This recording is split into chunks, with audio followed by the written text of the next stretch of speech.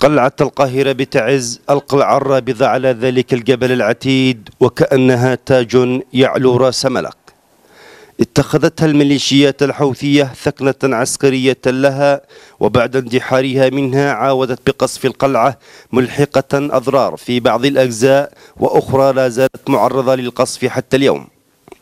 فتحت قلعة القاهرة أبوابها للزائرين خلال أيام عيد الأضحى المبارك للعام الثاني منذ بداية حرب الميليشيات الحوثية في لحظة التقاء الزمان بالمكان وبالإنسان.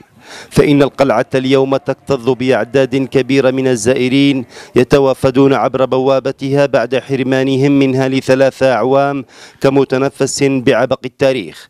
في محاولة وإن كانت لحظية لصناعة فرح غائب في يوم عيد.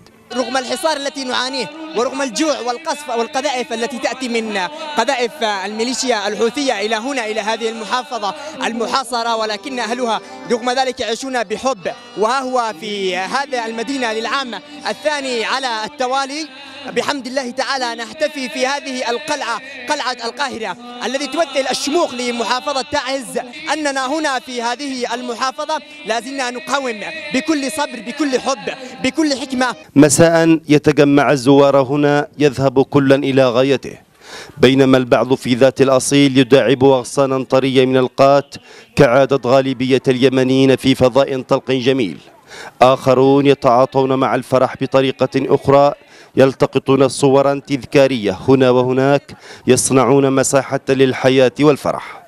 أما الأطفال فهم من يلونون مدرجات القلعة ويقطفون من حديقته ألوان بهجة وسرور.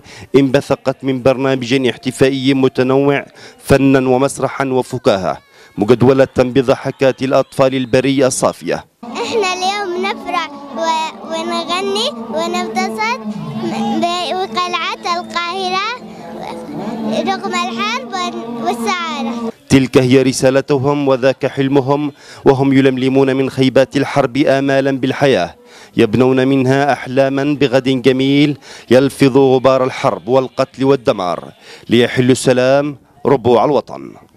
ستظل قلعة القاهرة مفتوحة أمام زوارها في مدينة طال حصارها من قبل الميليشيات الحوثية.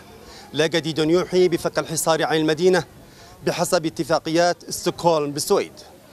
عواد الوهباني اليمن اليوم تعز.